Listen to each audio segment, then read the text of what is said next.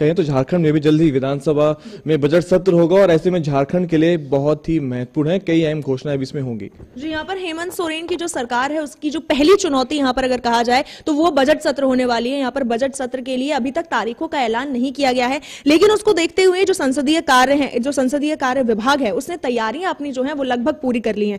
संसदीय कार्य विभाग के मंत्री हैं आलमगीर आलम। उन्होंने यहाँ पर कहा है, उनसे जब पूछा गया इस बारे में तो उन्होंने यहाँ पर कहा है कि पच्चीस फरवरी के बाद कभी भी सत्र की शुरुआत जो है वो हो सकती है। और साथ ही उन्होंने ये भी कहा कि इसकी तारीखों का फ़िलहाल ऐलान नहीं हुआ है। लेकिन उन्होंने कहा कि 27 या 26 या 27 फरवरी तक हम इस सत्र को जो है वो करना चाहेंगे। और साथ ही अगर देखा जाए तो एक महीने का ये पूरा सत्र होगा। तो अगर 26 या फिर 27 फरवरी को ये सत्र जो है वो शुरू होगा तो मार्च 26 से 27 मार्च तक ये चलने वाला है। और इसके साथ ही उन्होंने ये भी कहा कि इस वक्त जो पूरी तैयारियाँ हैं वो पूरी हो चुकी हैं। और इसी दौरान यहाँ पर होली के साथ ही कई छुट्टियाँ भी बीच में पड़ रही हैं तो उसको लेकर भी यहाँ पर जो तैयारियाँ हैं वो पूरी कर ली गई है। साथ ही साथ यहाँ पर उन्होंने ये भी कहा है कि इस बजट सत्र से पहले यहाँ पर कई अहम बैठकें भी होनी है। तो उसको लेकर भी उन्होंने कहा कि जो बैठक है, उनकी तैयारी भी हो गई, लेकिन ना ही अभी तक बैठकों की यहाँ पर कोई डेट यहाँ पर सामने आ पाई है कि कब बैठक होगी और ना ही अभी बजट सत्र कब से शुरू होगा, इसकी कोई डेट यहाँ पर फ़िलहाल तक सामने आ